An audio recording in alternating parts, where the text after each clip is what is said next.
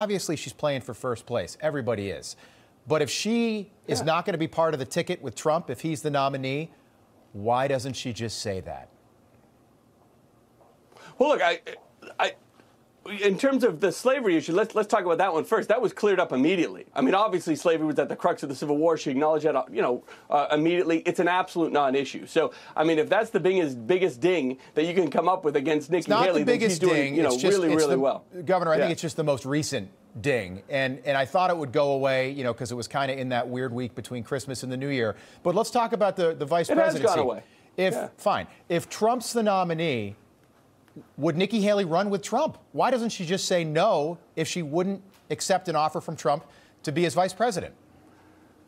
Look, I, I, know that that sounds like news, but I got to tell you, as someone who's been a candidate and been through this and all that sort of thing, uh, when you're a candidate, you're, you're, not thinking about any of that. You're really not thinking about any of that. I know that likes to be a news or an, an article, but um, speaking for Nikki, I can tell you, it's it's the furthest thing from her mind. It should be the furthest thing from any of their minds right now because that's all they're focused on. It's not about, gee, six months from now, if there's an administration, where's my position? Nobody thinks like that.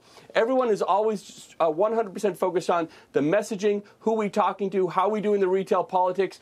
You know, our her numbers are flying through the roof right now, nationally and in New Hampshire. She's well within striking distance, and as I think a lot of folks anticipate, I think even Trump anticipates Nikki Haley's going to win New Hampshire, and then they're all trying to figure out what they're going to, what Trump's team is going to do after that. So I, I just got to tell you, it's it's not even really part of the thought process yeah, when you're a candidate. So it seems to me that if it's not part of the, the thought process, you could just say, yeah, I'm not going to run with Trump. Look, I might run again in 2028, but I'm not going to be a part of a Trump administration if he's the nominee right now. Trump won in New Hampshire in 2016 in the primary, and he won with 35% of the vote with a huge field. And he's leading in most of the, he's leading in every poll in New Hampshire right now and Iowa. Yeah. Let's talk uh, more about Chris Christie. Do, do, you want him to drop out of the race before Iowa, before New Hampshire, so that, that maybe anti Trump vote can get behind a single candidate, maybe Nikki Haley? Yeah. The only person that doesn't want Chris Christie to drop out of the race is Donald Trump. Because when he drops out, all of his votes go to Nikki Haley and Trump loses in New Hampshire. Trump's the only one praying that Chris stays in the race. So if Chris wants to fulfill on that mission of delivering Trump a loss, I think he can be the hero here. He's a good guy. He's very smart. I know at the end of campaigns, you know, the thought process gets a little tough, but at the end of the day, I think he's going to make the right decision.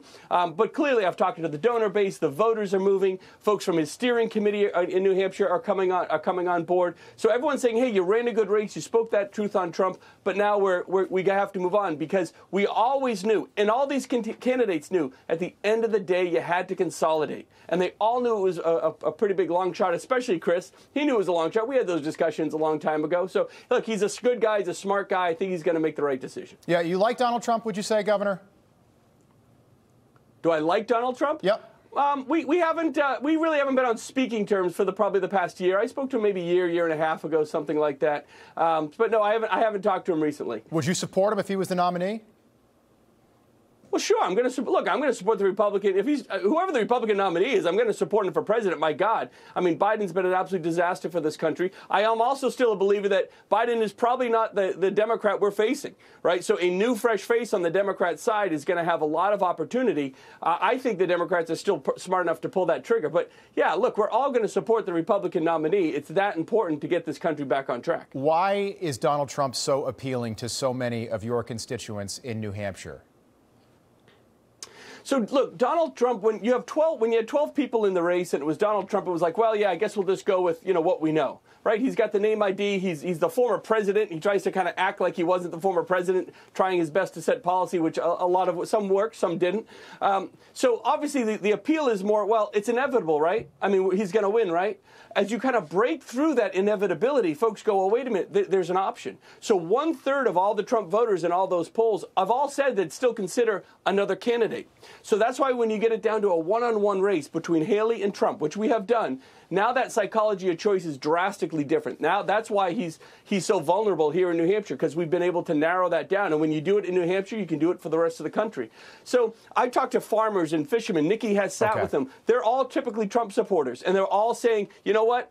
We can't have someone with all that chaos. I need someone focusing on inflation 120% of the time, not lawsuits. I need someone that's going to actually secure the border this time and work with okay. Congress and figure out how to do it, not be distracted. So a lot of those folks that you're seeing are coming over uh, in the coming weeks.